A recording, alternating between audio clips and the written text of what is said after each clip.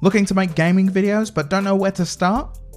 From Let's Plays to highlight reels to even just a relaxing walkthrough, XSplit Broadcaster can help you get started creating content in minutes.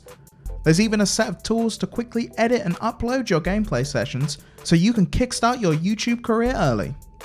First, go to xsplit.com to download and install XSplit. Once you've started XSplit, you can create an account via email or through your social media like Facebook or Twitter.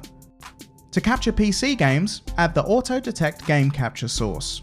Drag the game source to full screen your gameplay capture. To capture console games, you need to have a capture card connected to your PC. Capture cards can be added as a video source. Some capture cards require additional setup to receive audio. Simply right click on your capture card in the source list and select the corresponding audio input. To add Facecam, make sure you have a webcam connected and add it as a video device from the source list. Make sure your webcam is above your game source in the source list and position it however you'd like over your gameplay. Click on the record menu and click on the gear next to the local recording option. In this menu, you can set the quality of your recording.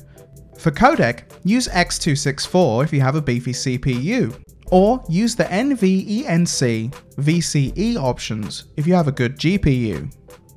You can set your recordings to automatically split after a set amount of time.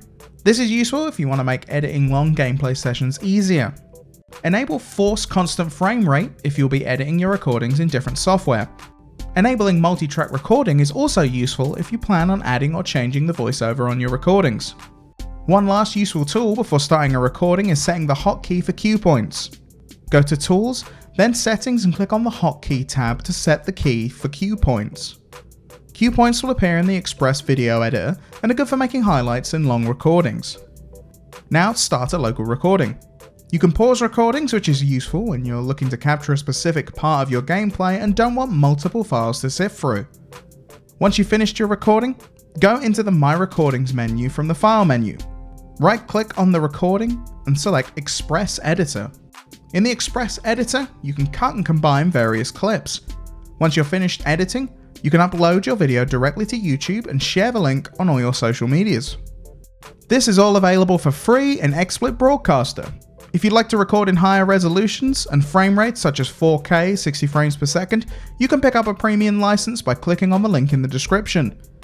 Make sure to subscribe for more tutorials and share your gaming content with us on social media.